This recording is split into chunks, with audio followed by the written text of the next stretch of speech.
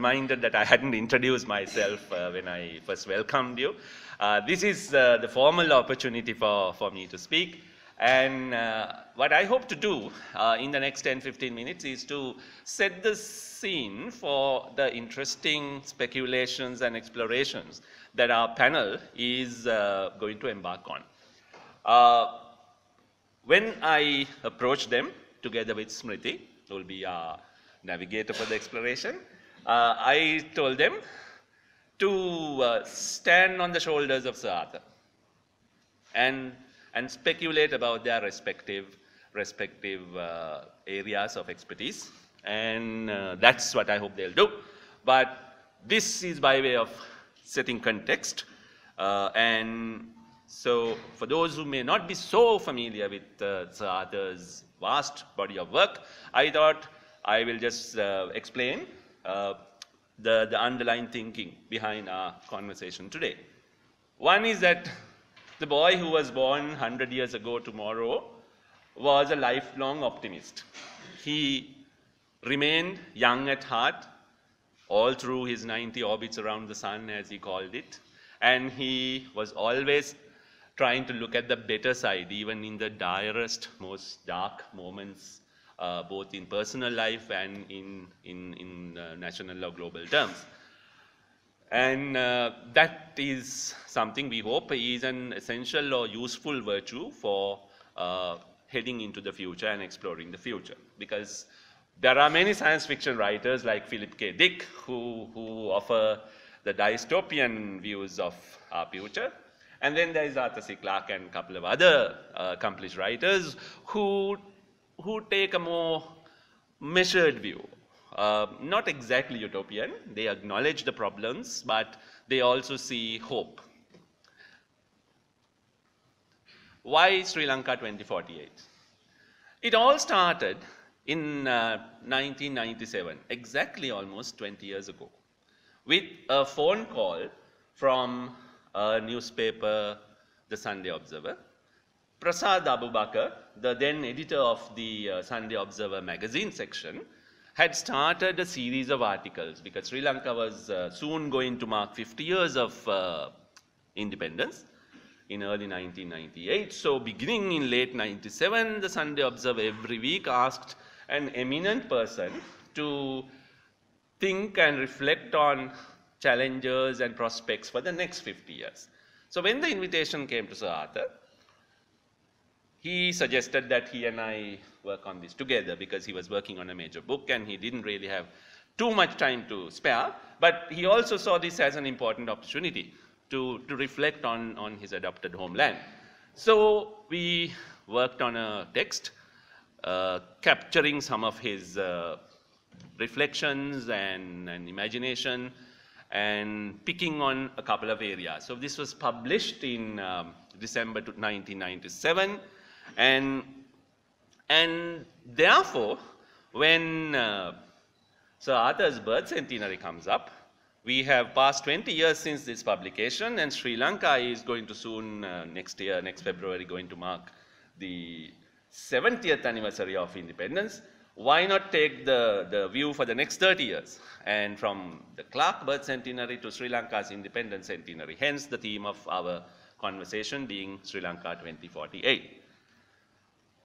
So in this 1997 article, uh, taking the next 50 year view as it were from there, he looked at, uh, you know, what, what we need to do to make this a better country. Now, some of you may not even remember, you may be too young to remember how things stood back in the late or mid 1990s. Uh, so he outlined the vision. For example, how can development uh, be more equitable? That he saw the need for the benefits of development to be shared uh, across all the entire population. The kind of vision that Sarvodaya has been advocating, uh, he fully subscribed to that. In fact, he was uh, a supporter of Sarvodaya all along. Uh, difficult though it is, he said, such development will have meaning only if it is socially and environmentally sound. Wise words, which perhaps we haven't quite heeded in the last 20 years. Then, looking at uh, looking at the uh, couple of areas that particularly interested him, uh, and that also is one of the topics we'll explore in some detail later in this program. Uh, he talked about energy and the need for us to achieve a judicious and balanced mix of conventional and alternative sources of energy. Because everyone is entitled to using energy, and how do we supply this in a, in a way that is affordable, clean, and safe? Uh, so that, again, he, he shared uh, some thoughts.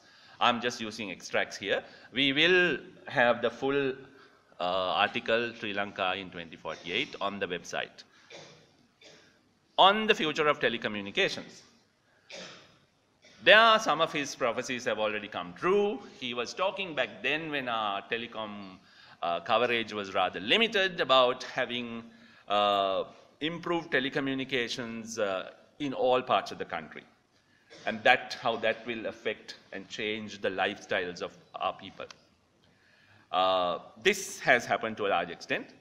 Uh, with the benefits have come fresh challenges and problems, yes, but it, it's a sector that has developed and evolved very rapidly.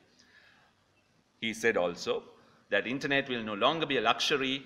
His fear was that some might spend too much time uh, on the internet. Now, is that happening? The younger members of the audience might agree. Okay, so and then he uh, he said that it is necessary not just to have better telecommunications, but also better communications among human beings. Now, that was one of the key points he uh, highlighted in that article. Now, we fast forward to 2005. So, the tsunami happened in December 2004. And then, uh, of course, Arthur was very deeply uh, concerned about the destruction and appealed for global help to Sri Lanka. And then um, early in 2005, Vijit Tikera, who was then with LMD, the monthly business magazine, approached Sir Arthur saying, we'd like to put you on the cover, we'd like to do a lengthy interview on looking at Sir Arthur's uh, vision for this country and the world at large. So he agreed, and this, in fact, turned out to be the last extensive, detailed media interview that Sir Arthur did for a print medium uh, outlet in Sri Lanka before he passed away in early 2008. So again, in this interview, uh, which we will make available in full uh, on the website, he returned to some of the points he uh, touched on, because here he had two, 3,000 words in which to speak his mind, unlike 800 words uh, in a newspaper page, tabloid page. So he actually spoke his mind and said, reminded everyone that uh, he is still a guest on the island. He always was, never a citizen, only a resident guest, and therefore he said he has to be careful in uh, how he uh, spoke about his host nation. Uh, but he said during the time that he has lived in Sri Lanka, which by then was approaching half a century, uh, he'd seen many good things happen, but sometimes also the country take wrong turns. Now, he didn't elaborate. There was no need to elaborate for a Sri Lankan readership. If we have, he said, if we have the humility to learn from past mistakes, the next half century can be far better than, far better than the last. And I can only hope that we learn these lessons quickly and apply them resolutely. Have we done that since 2005? I leave it to you to decide. Elsewhere in the interview, uh, talking about you know, the need to invest in the people uh, and, and in uh, developing the knowledge economy. Uh, he, he had these views. Sri Lanka must export, uh, exploit, I beg your pardon, Sri Lanka must exploit our comparative advantages such as the high literacy rate and the technical dexterity of our people. The geographical location and also the medium size of island are also other advantages he mentioned. Sri Lanka should not, Sri Lankans should not just work hard, but also work smart uh, in the global marketplace. We have to evolve our own business and technical models, he said. Then, this is the, the, the, third and last extract from that interview I'll share today. Uh, now he takes a bigger picture. He always liked to take steps back and, and look at the, the bigger, the grander scheme of things. And there he has advice for all of us if we should not allow, and this, mind you, is when the war was still uh, going on, uh, the last stages of Eelam War um, uh, were happening or beginning to happen. We should not allow the primitive forces of territoriality and aggression to rule our minds and shape our actions, he says. If we do, all our material progress and economic growth will amount to nothing. I have always been an optimist, and I still remain optimistic that Sri Lanka will achieve lasting peace. He never said peace, he always said lasting peace or durable peace. He always qualified it. So then, uh, again, have we achieved that? I uh, leave it to this house to, to uh, ponder about that. Coming on to 2007 December. This is the third example from uh, which I will uh, share a couple of extracts. It wasn't a piece of writing, but a nine minute video where he looked back at the 90 years or 90 orbits around the sun uh, on the eve of his 90th birthday, exactly 10 years ago, in December 2007. This is available and a highly viewed video on YouTube. Uh, now, having looked back at his own life and reflected on the times uh, that he's uh, seen and contributed to, uh, he said, technology tools help us to gather and disseminate information, but we also need qualities like tolerance and compassion to achieve greater understanding be between peoples and nations. And then he went on to list three last wishes he said as an individual, he had no remaining ambitions. He has seen far more than what he'd hoped to see as a young boy growing up in rural England. But at a bigger picture level, he had three last wishes. Firstly, he wanted to see, know some evidence of extraterrestrial life, life outside the Earth. Uh, because he believed in the possibility, uh, but there has been no actual conclusive proof. Uh, but we are still waiting for the ETs to call us, he said. Uh, of course, there was no way of guessing how soon it could happen, and it still hasn't. So that's his first wish, which remains to be fulfilled. Secondly, and more relevant to uh, a topic of our conversation, today he wanted to see clean, affordable energy, energy sources developed, and to enable us to kick what he called the addiction to oil or fossil fuels.